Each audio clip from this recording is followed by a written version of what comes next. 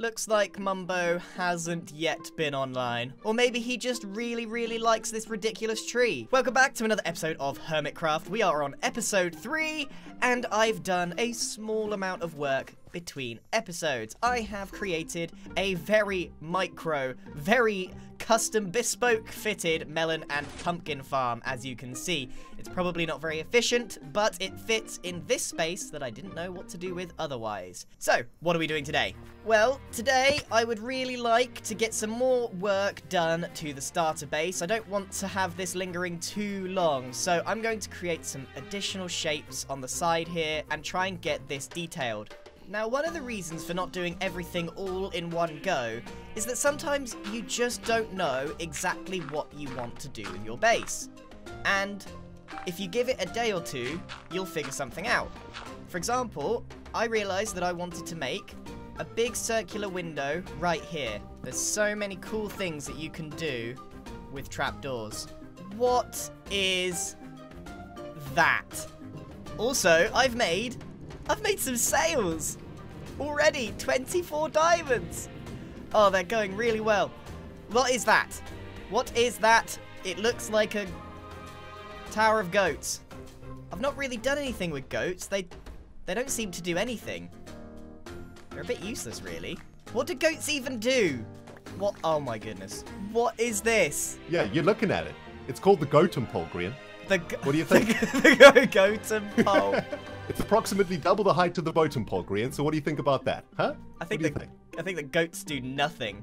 They make a lot of noise. yeah, they they scream, and that's about it. Well, listen, the goat army's coming, so, you know, For I'm what? just saying, you, you, took the moss, dude. They, we, I told you there'd be retribution. We didn't do so, anything. We just made you, a tower out of boats. Yeah, and you took our moss from our shipwreck, Grian. This is what you get. It was okay? Ash. We found it first. Finders well, keepers. All right. That's your story. We got our story. Get goated, dude. I'm going to put this screen back up. well, I, uh-huh. I'm, I'm declaring this place a no goat zone. No goats okay. allowed. All right. Good luck with that. We'll see you later, G. Be- because we stole. We, we didn't even steal moss. We found moss, and they declared it was theirs after we found it. If anything, they're trying to steal our moss. We're not the Boatem hole. So far, this hole has done nothing but be a, a genuine hazard. So far, we're ending up with a bunch of eyesores. Oh, he's just leading loads of goats in here. I will just kill them. We're gonna have to protect our village from the goats. I'm not sure I want to make the Boatem pole any taller.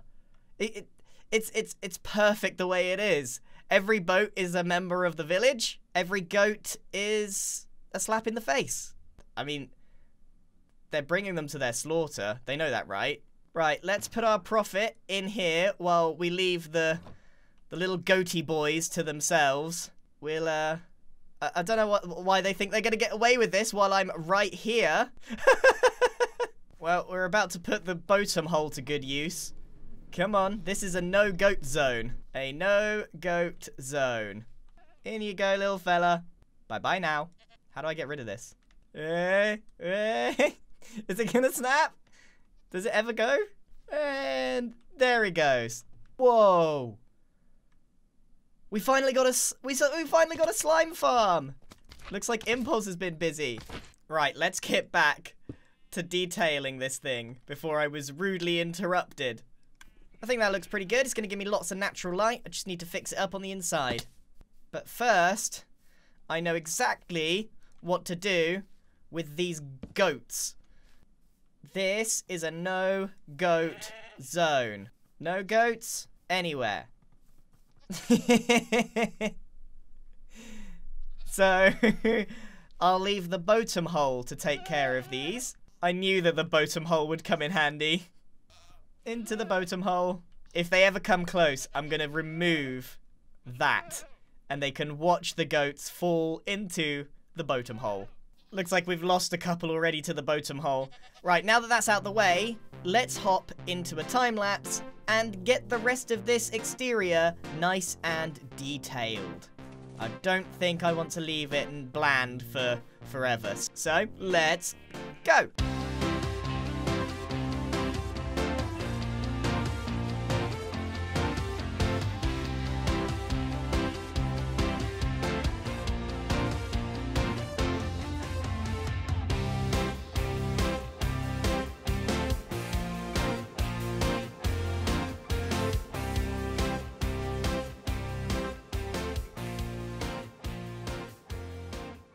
You know, you can't leave this server alone for five minutes. I've literally logged on after a full day of time-lapsing some of this beautiful build, and there's spikes all over the floor, and I have no idea where they've come from. And I don't really have much more to say than... What? I'm pretty sure none of the guys in the village would have done this, because it's... Well, it's a bit of a hazard, really, isn't it? So I guess all we can do is at least tidy up the bit that hurts. Actually, seeing how many spikes there are, this might have been Cub. He's the only one I know that's farmed a whole bunch of dripstone. The question is, why? You'll also be pleased to know that the egg is still safely on top of the chimney. So, what have we done in terms of detailing to the base? Well, I've kind of replicated what was going on at the front. Oh my goodness, it's blue again! I think the blue really suits it because the, the blue and the green match really nicely. So check it out. We've got this really overgrown looking property and I added this whole new section here. Now, when you're detailing in Minecraft, it's quite easy to accidentally make a bunch of faces. And I was doing pretty well up until I got to this side of the house. You see, I made these giant circular windows and decided to add buttons next to him. See, you see that? Do you can you see the face? It looks like my house is absolutely like screaming, like Hoo!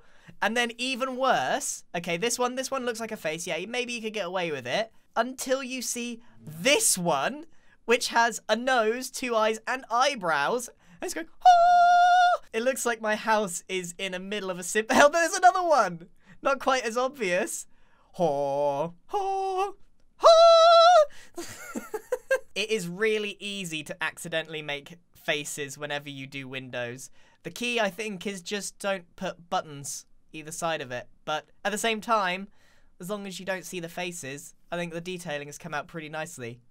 I didn't plan on doing this, but during the time lapse, I decided to get rid of my sheep farm because, you know, more animals means more lag, so I decided to very early on get a wool farm going. And this ended up taking me pretty much half a day. The idea here is to stay pretty much, just leave these guys to it for most of the season until they've got all the wool that I could ever need. It's going to take a while for all of this to fill up, but it's one of those things that is super, super useful. What I will say is, do not copy this design. I made it up as I went along. It looks very slick. It looks very compact, but in terms of redstone, do not follow it because the sheep, when they get sheared, it doesn't always fall underneath and you end up with I don't know why I bothered even trying to sort them.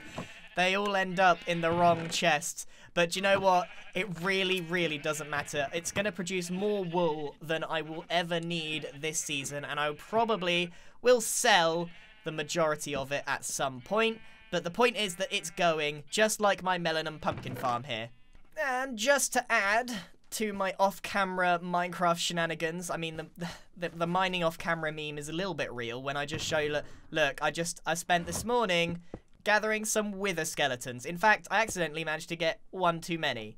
So, I'm pretty much ready for a beacon. But I think I'm going to have to launch this underground. But for now, I'm just going to freak out everyone in the village by creating a pumpkin wither. I don't know why I was mildly scared then that that was going to turn into some sort of weird pumpkin wither. How bonkers would that be? Anyway, I'm going to freak people out by leaving that scarecrow there. And also, I have been steadily getting loads, and I mean loads of diamonds. no one has bought a single honeycomb yet, but I managed to get a bunch of books such as efficiency, mending, unbreaking, and there was some silk touch in there as well. And people have been coming round and buying lots of books. I mean, look at this. Already in this game, we're on episode 3, 16 diamond blocks.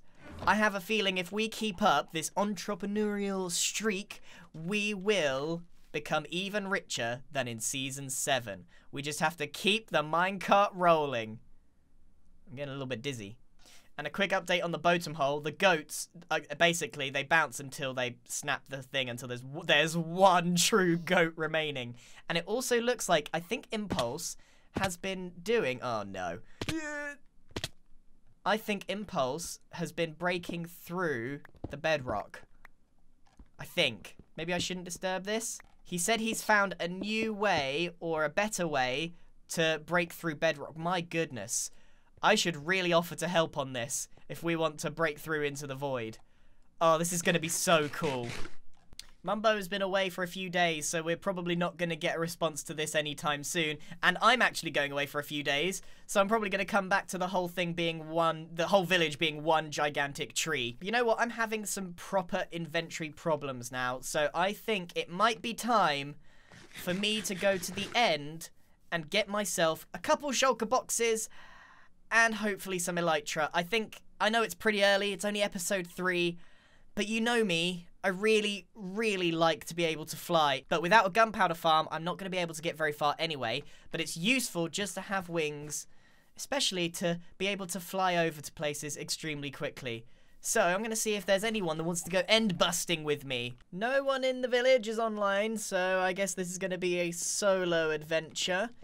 Now, Scar did tell me he was super proud of his interior, so I thought I'd come and have a look it looks actually pretty awesome. I think the interior for my base is going to have to wait till next episode. Wow. Now that is a very cool design for a little plant. And downstairs, we have, we have a note. Whoa! What the? Did you saw that, right? they, they climb ladders now. Oh my, oh my, no. No! What do I do? What do I do? I don't know what was here. I would be guessing at best. Um, yeah, I just, I just wrecked Scar's base, so the best I can do is let him know that it was, uh, it was me. Why does Scar never light up his builds? I've known the man now for about three years, and I've never known him to actually light up a build. Lit, lit, literally the best thing I can do uh, I'll, I'll message him to tell him what happened, but this is hilarious. Imagine this when you, you log in and you just you see a creeper hole and there's just this dead version of beady-eyed Grian going on. Oh, I'm so sorry, Scar. I will fix this. I just need to know how it was before. But this is still very funny. Before I got distracted by Scar's beautiful interior and a creeper that can climb ladders, I was on my way to the end. In fact, it's probably easier if I take the new nether tunnels. The other hermit spent a while making real tunnels so we can get to places a lot faster. I think I've got everything. Let's go. Let's grab ourselves some ender pearls. Oh my goodness. What is this? Oh no! This is this is the most ridiculous farm I've ever seen. Oh, I, I, I must admit I've never really used an ender ender like this. Well, there's more than enough XP to follow me around for a while. Jeez, that thing is powerful. Okay, now we need to go and find one of the ender tic tacs and get ourselves an end city. Looks like there's only one of them available for some reason. Woo! Oh, okay, Alright, now all we need to do is find an end city. So it looks like people have gone that direction and that direction. So let's go this way. I really, really, really hate bridging over the end. You just know if you mess up, it's it's not just death, it's the the complete destruction of everything you have in your inventory. This is my second end city that I found, and as you can see, it's already been raided, and as has that one. Uh, this is uh, part of the problem when you work on a server with about 20 other people. We all want the same thing.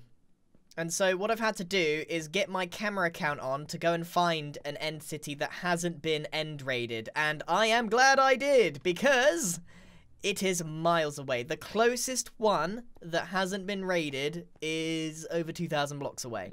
So that's basically what we got to go and do now is get all our way over there. I could have wasted potentially two or three days just blindly navigating in the end and not getting anywhere.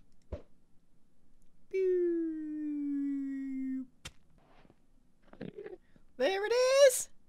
We're here. Finally. Can I make this jump? I sure hope so. Woo! Okay, this is the only unrated end city for miles. Let's start from the bottom and make our way to the top. So while I'm floating around, I mentioned earlier that I'm going away for a couple of days. This isn't just some kind of random holiday that I'm going on. No, I'm actually going to take some pictures of... I really am just floating around. I'm going to take some pictures of real life buildings for inspiration for my proper Hermitcraft base. So it's going to be absolutely amazing. I haven't I haven't shared too many details about my base this season so far, and that's because it's a bit of a secret. But one hint is that it's at least based on things in real life. So you can rule out any sort of fantasy or futuristic build. I am really struggling here. Now, can I make this? This is a risky move. I should probably just bridge this. Please. Oh, nailed it. Let's get the Elytra straight away. And yay, we got some Elytra. And all we need now is the famous dragon head. Right, we might as well make our time here worth it and get as many shulkers as we can. And then skedaddle out of here. Oh, it feels so good to be able to fly. no, where did that go? Uh-oh. What did I just do? okay, you know what? I'm going to leave the rest of the shulkers. What I got, 15? That's seven shulkers. That'll do for now. I feel like I've I've got away with quite a lot here. Bingo. Finally. Okay, it was definitely worth it. 43 levels is not to be sniffed at this early in the game. Hoo We have ourselves some wings. We have ourselves some shulker boxes. We are doing really, really well.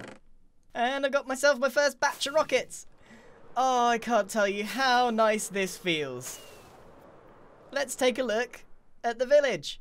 It looks a lot smaller from up here. Now, while I'm here, something I'm going to do for no particular reason is put the dragon head on the dragon egg. That It looks ridiculous. It looks like a mini dumpy dragon. Right, let's enchant this up with the usual mending and unbreaking. How can we scare him when he turns around? When he turns around? When he turns around? When he turns around? When he turns around? When he turns around? When he turns around? When he turns around?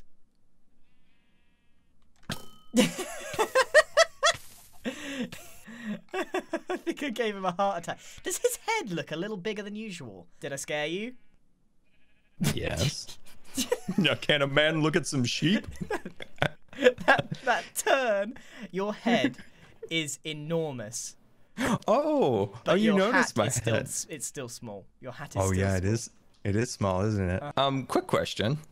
Yeah. Um, why is there a a, a goat here? Um, Right, I've declared this place a no goat zone. I don't know if you've seen, but over yonder, there's a big tower of goats, right?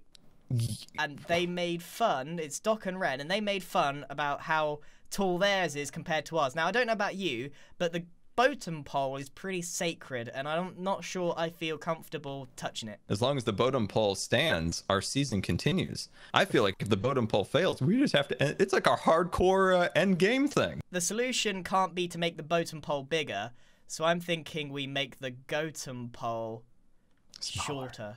Yeah, like your hat. Follow me. Oh, you. Right, we're going into goat territory here. You know, I saw these two hooligans roaming our territory the other day, but I didn't know they were doing this. I don't really know what their problem is. This is all because we we took well, no, we didn't even take moss. We found moss before them and they said that we stole it, which is nonsense. Right, are we ready? this In- is going to be fantastic. we really need T Rexes. In theory, they all come Oh, it works so well. Okay, I think it's still taller. Let's work this out. We only get one shot at this. We can't. Once they're down, they don't go back up very easily. So, I reckon we can safely remove this one. How How are we doing? It's it's comically low now. It is 100% taller. It is 100% taller by about four or five blocks. Are you serious? Yeah. So now, all we gotta do is cover up our mess here. Dude, I gotta say the the, the goats are, are, are really annoying. They, are really annoying. there's there's no there's no hiding it really, is there? no. They are straight up annoying. This was the li- this was literally the only solution, right? There was there's no making the bottom higher, and we got to deal with the Goatem. So that's it. I have a little um, confession to make. There was an incident at your base. What? There was an incident at your. What do you mean there was an incident at my base? Uh, I mean at the wagon? Yeah, come see. Yeah. So if you just uh, pop upstairs with me, I, I just have you know you were talking to me the other day about how happy you were with your interior, so I decided to come and have a little look. yeah. Um, Oh, what in the world? uh, there, was, there was an accident, Oh no! and I didn't know how to fix it, so oh I- my gosh, there's a freaking cookie back here. It's What? not a cookie. That's my face. Yeah, you look like a cookie. No, I don't. You look like a chocolate chip cookie, and a delicious one at that. Great. Well, I, I appreciate that. Well, basically, the problem is that you haven't lit up your base as per usual. Excuse me, Mister. Creepers. It's called mood here. lighting. it's called mood lighting. It's called creeper spawning. Dude, I'm trying to create a vibe here. is the vibe small explosions? Oh, by the way, I forgot something real quick. Hold on. Hold on. Doop, doop, doo, doo, doop, beep, doop, doop, doop. I don't have an elytris. This is going to take a minute. Scar, what are you doing? What? Nerfing? doesn't look like nerfing. Yeah, there's nothing. No, no, no worries. No worries at all. It's a good thing I got all this material from the goat hole. Oh no, don't touch the Scar. Don't touch the egg.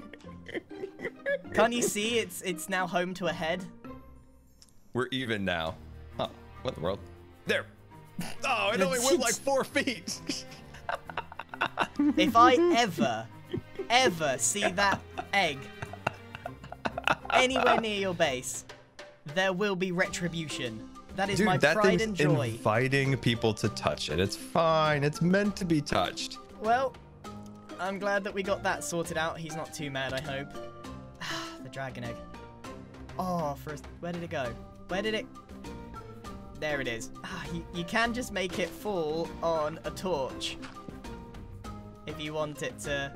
Boop. There we go. But sometimes it's easier with the piston. Okay, so you might be wondering why I have this dragon egg. And there's actually a little bit of a game that I want to start. Eh, you know, for the last two seasons, season 6 and season 7, I started the game of tag. Well, I've got something a little different in mind for our friend, the Dragon Egg. But if you want to find out what this game is, you're gonna have to come back next episode, because that is all for today. And all there is left to say is thank you very much for watching, and I shall see you in the next episode where the dragon egg is gonna look a little bit less like a hat. Goodbye!